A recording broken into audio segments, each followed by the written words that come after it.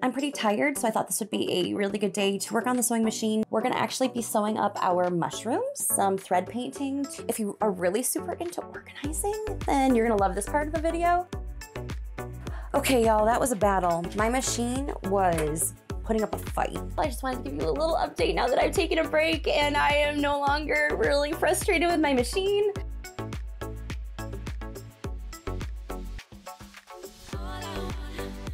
Hey everyone, welcome back to another Sunday Stitches. My name is Lauren Weber. I am the artist and quilter behind Garden Girl Studio. So today we are going to be having a very chill day because I am absolutely wiped out from Valentine's Day. I helped my husband at Edible Arrangements uh, during the holiday, and my fingers are incredibly sore. They are actually blistered um, from making so many arrangements. So I cannot hand embroider today. I'm not going to be doing any handwork today. I'm actually going to be working on my sewing machine. I'm pretty tired, so I thought this would be a really good day to work on the sewing machine, let my hands rest for a few days. We're going to actually be sewing up our mushrooms, and I'm going to be adding some thread painting to both of these mushrooms and the backgrounds. And I think consensus was that we wanted to add some flower dots, so I might be doing that as well. So I'm probably going to throw on some music while we work. So grab whatever projects you want to work on today and join me. I have a cup of tea from my favorite local cafe, Super Official. The tea is delicious. So it's um, bringing me comfort uh, because I'm so sore and tired. And I probably won't be quite as chatty today. I'll try, but I am just so tired from Valentine's Day. So uh, the first thing I need to do though is because I'm thread painting, get my threads ready. You can see up above me here, I have a thread rack. Okay, so you see this thread rack here? I it's what I use for my thread painting. These are embroidery threads. So I am going to restock my threads, I had to take some away to go work on another project. So now I need to put them all back on the pegboard. So if you are really super into organizing, then you're gonna love this part of the video. Basically, I organize all of my threads by color. So I'm gonna recreate the gradient here and I'll give you a nice close up of what that's gonna look like if you like to keep your threads pretty and color organized, kind of like I do. And then we'll pull some colors that we're gonna use to reinforce our fusible applique and to add a little bit of dimension to our projects. And we'll get started.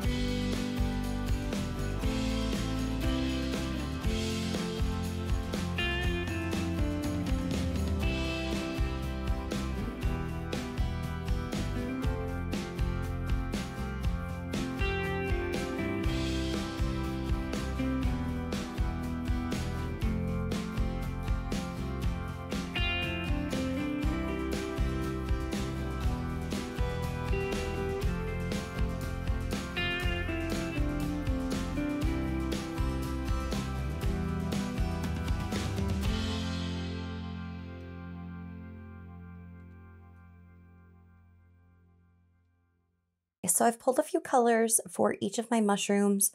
On this one, we pulled a darker blue because I do want to pull out some of these richer tones. And I even pulled a few seafoamy kind of colors because the background that we're going to be using has seafoam in it. So I want to try to pull that toward the center of this project. And then over here, we have our other mushroom. I have darker eggplant. I have a deeper purple, but I, I don't think I want to use it. I think I actually want to pull out some of these violet colors. Can see some of the violet in here. And then for in between, I wanted to go more like peachy sorbet sort of tones for our in-between spots. So we're going to see how this pans out. I may change my mind on this one, but I, I don't think so. I think I want to pull out some of the violet colors and this seemed like the best option. So these are our colors so far. We're going to go ahead and start our thread painting. Okay, so I'm getting ready to start sewing. I'm getting my machine all set up. I've got it oiled. I have a test patch ready so we can test our tension. I did find, and there's not a ton left, but I think it's going to be enough for this project, this Madeira rayon thread. That is the perfect color for the darker portions of this mushroom. Yeah, that is the violet I am looking for. I think it fits a little bit better. This one's a little bit closer to wine, whereas I want the violet. Yeah, love that. So we're going to be using this as well. And I'm going to go ahead and get my machine set up. We're going to do a test patch and then we'll start stitching. I have two purposes for what I'm doing. One is to make sure that our fusible applique stays held in place, even though we used a permanent fusible web. I didn't do like a super job, like anchoring it down. I just kind of did a speedy, quick cut when we were working on this. And the other thing is to give it a little bit more dimension, a little bit more character, and to add a few like highlights, lowlights, shadows, um, kind of as we're working through. So I'm just going to kind of be working through each color and as we go. Generally, I work light to dark. So keep that in mind. You're going to see me running a little test patch to make sure the machine is working. Okay, so here we go. Okay, so I'm about to get started stitching, but you can see here I did a lot of testing. I wound up changing over to an embroidery size 75 needle. I had a top stitch and usually my top stitch is good to go, but I was getting a lot of skip stitches and I wanted to kind of practice and get a good feel for this machine. Most days when I'm quilting or sewing, I'm working on a long arm machine, which is a very different experience.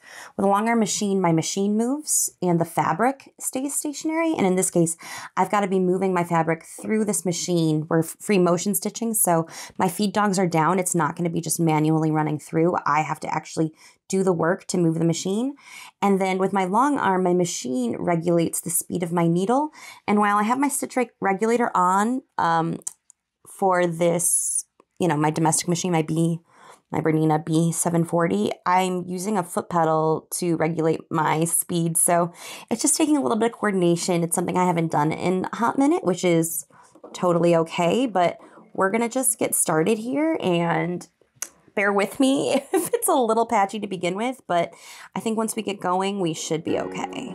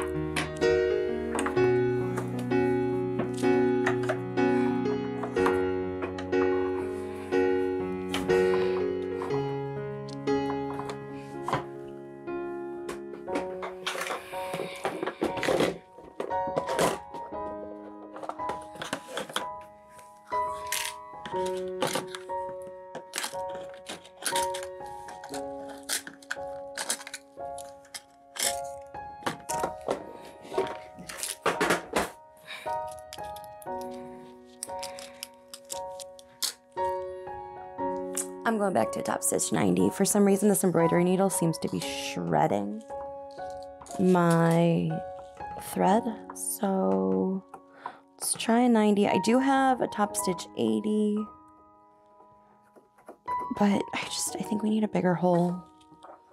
The eye of the needle. Okay. Lower thread. And let's try that again. Oh, some days the sewing machine just settings aren't quite right. But that's okay. We're just gonna keep going and until until we get it right and everything is secured down.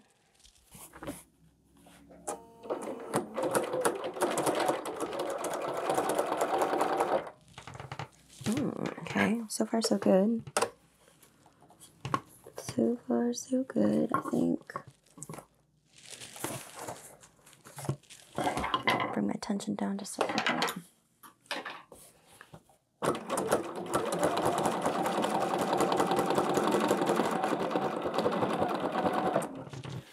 It doesn't want to go backwards today. I, I have absolutely no idea why it doesn't want to go backwards, but it just doesn't.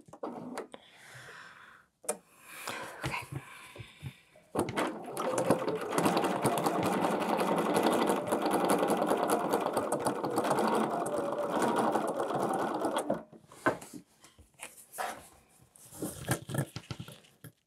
That's fine. We'll go the direction it wants to go.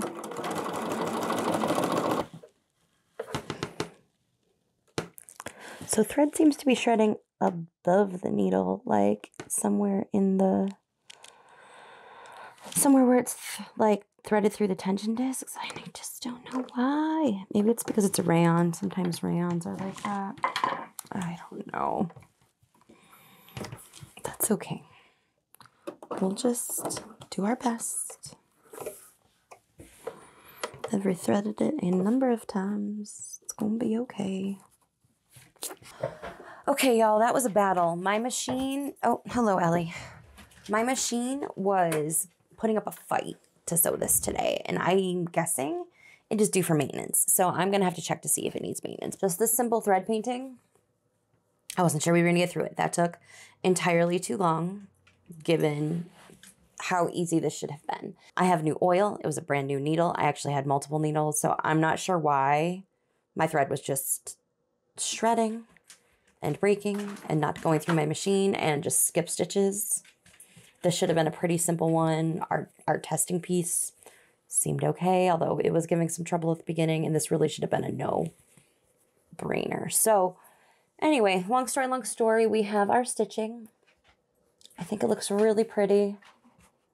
I couldn't make it all the way through to the bottom because it was just catching in my machine and I was tired of fighting my machine. So we'll finish pinning these down once I have it attached to a bigger, to the background so that there's a little bit more, I don't know, space for it to catch onto. Um, but yeah, so at least we have this one mushroom done. I am going to attempt to get through the blue mushroom. I am not going to even try to do the flowers today because my machine is having trouble changing directions.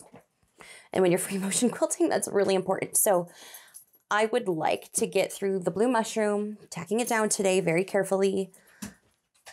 I, I don't think I'm gonna have the energy for the backgrounds, but I might try with just not even free motioning it, just a simple like quarter inch foot and like just soft, gentle curves through the background and see if my machine will handle that okay until I can get it in. Um, but if I even attempt to do flower dots on this mushroom, I think it's going to be a no-go. However, I can probably do them on my long arm. It's just not going to happen today. And I am just so tired that like, you don't want to work on projects when you're tired. You want to work on projects when you're feeling good and refreshed. So, so the other thing, the other symptom that I'm seeing with my machine that I didn't mention is that it keeps changing settings on me without me actually touching or changing them. And sometimes it'll change them like midway through me working. And so my mom has a very similar machine. It might be like one series off. Like, you know, I have a 740. She might have like a 760 or 780 or something. I don't know the numbers. Um, and I borrowed her machine one day to do some work uh, when I was at her house. And it was having similar symptoms where it would just suddenly change like stitch types or like suddenly would change just some major setting. This one happens to be changing my feed dogs.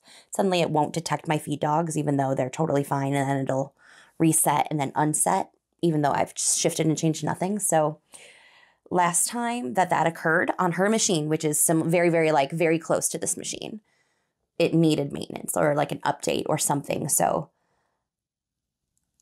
I don't know how to check that, but my mom will because my mom is awesome. Um, so I'm gonna ask her what she did for her machine. Right now, she she is unavailable for me to ask her, but when I have a minute and she is available, I'm going to ask her. So that's the other symptom that is making me think that it's not just me not having the right needle or the right thread or the right tension. It like the machine is actually doing things that it's not supposed to be doing. So I'm gonna try to get through this mushroom please cross your fingers for me because it's been a long week and I just want to sew. sew with you all. So fingers crossed we'll get through this mushroom. And then I think we're going to just take a break for this week, at least on this project. I will definitely keep you posted. So I'm going to go ahead and I'm going to start stitching now.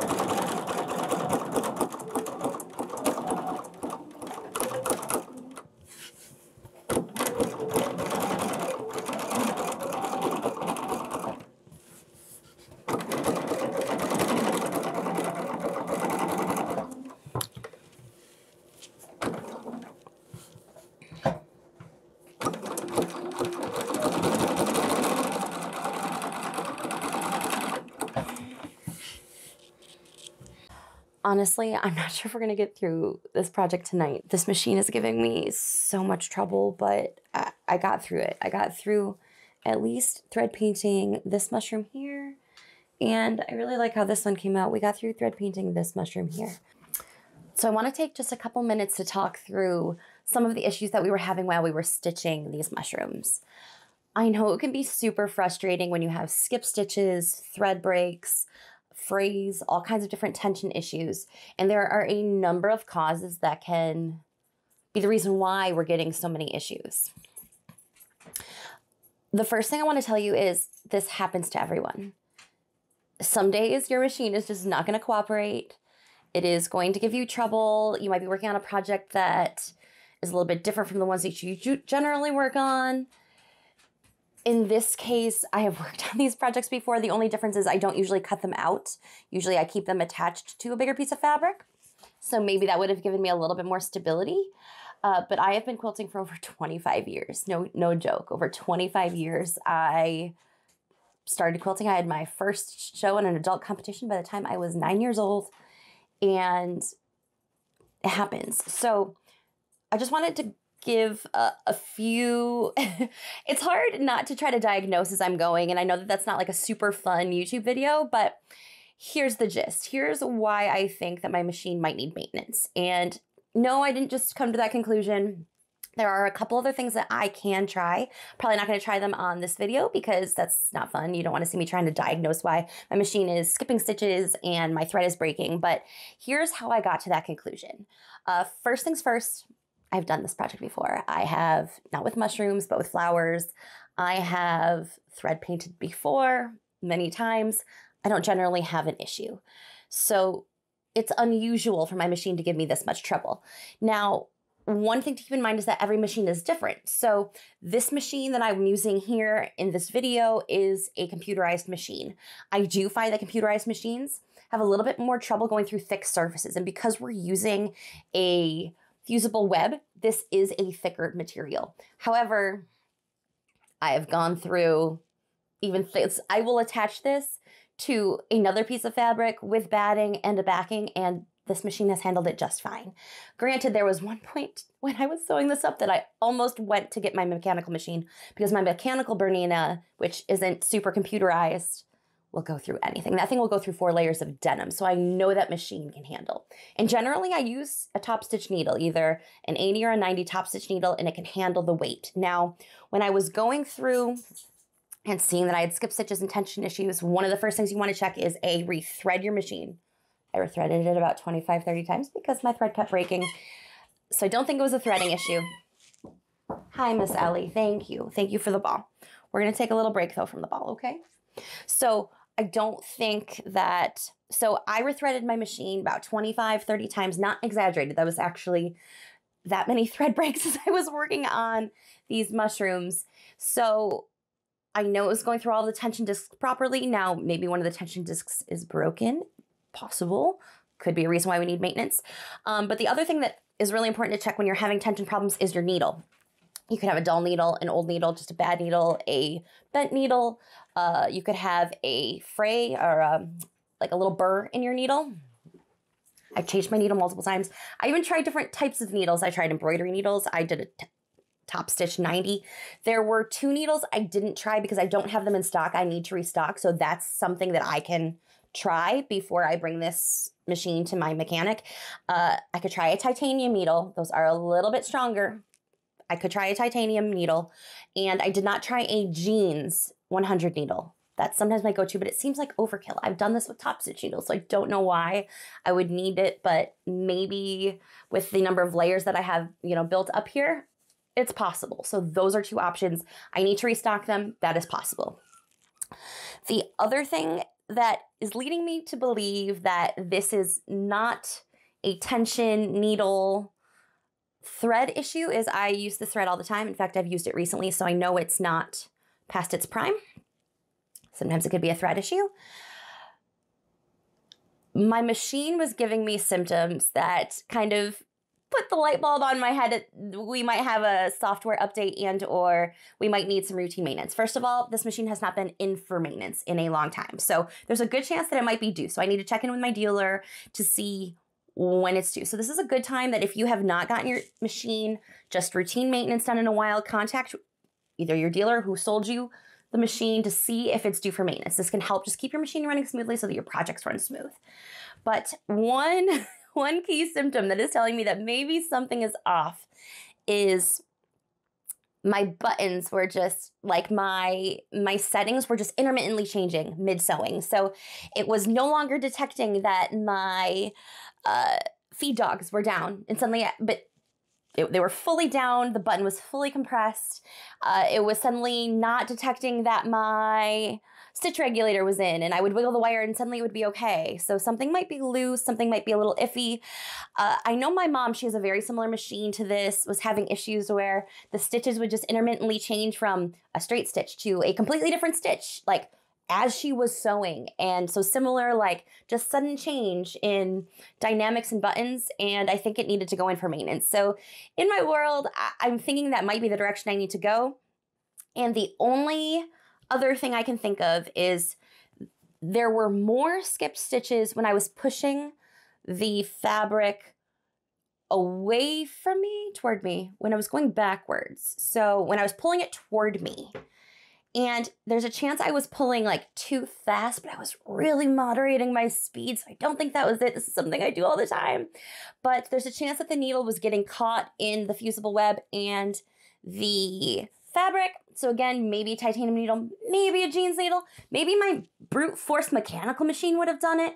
Either way, I'm probably gonna finish this project up either on my mechanical machine or my long arm, at least until I get this one looked out, because honestly, it probably is due for some routine maintenance. Granted, this is a good time and a good reminder that if you are not routinely doing a tiny bit of maintenance yourself on your machine, you probably should be. So make sure that you are cleaning your machine regularly. I clean mine and delint it before every single like when I sit down, the first thing I do is I open up under, you know, where the bobbin case goes and I make sure I clean it out with a little brush or a little Q-tip. I get any lint and dust out of there. I pull up the needle plate. I make sure that all of my lint and dust is out of there. I also oil my machine, not just when I'm starting a project, but if you sew often enough, you can hear when your machine needs another drop of oil and I found that I have mostly Bernina. My mechanical machine's a Bernina, this computerized machine's a Bernina, and my long arm machine is a Bernina. They like oil. They like oil. Um, granted, I am not a mechanic, so don't quote me. Look in your operating manual. It will tell you how much and when to oil your machine. But like my long arm machine, I usually oil it every couple of hours because it is doing a lot of stitches in a short period of time. This Bernina that I was working on yesterday, I oiled it. I got it ready to go even before I started stitching. So make sure that you're doing the routine maintenance and check in periodically because there's a chance it will need a bigger checkup from your local mechanic or your local dealer. So that is the current update. I am no stranger to tension issues. It happens. It happens to everyone. It is frustrating when this happens. It's a good time to go take a tea break, have a cup of tea, come back later when it's less frustrating, and then try to diagnose the problem further if you have the energy. And it's okay to walk away and step away for a day and then come back. But this is just, you are not alone. Again, I've been doing this for over 25 years. Experienced sewers, we have tension issues too. We have skip stitches. These are things that we have to work through. So my main advice is to go through and you know test all possibilities. Again next time i could try to keep this attached to a bigger piece of fabric. Maybe that would have given me a little bit more leverage. I could tell that my needle was getting a little gummy. So maybe a stronger needle titanium or a jeans needle or denim needle. It's possible. Again top stitch usually flies. Top stitch 90 is usually my go-to. For some reason it wasn't holding up today. But notice your other signs. Is your machine acting unusual and mine is. Mine is uh, intermittently changing settings on me without me telling it to. It is not detecting certain features.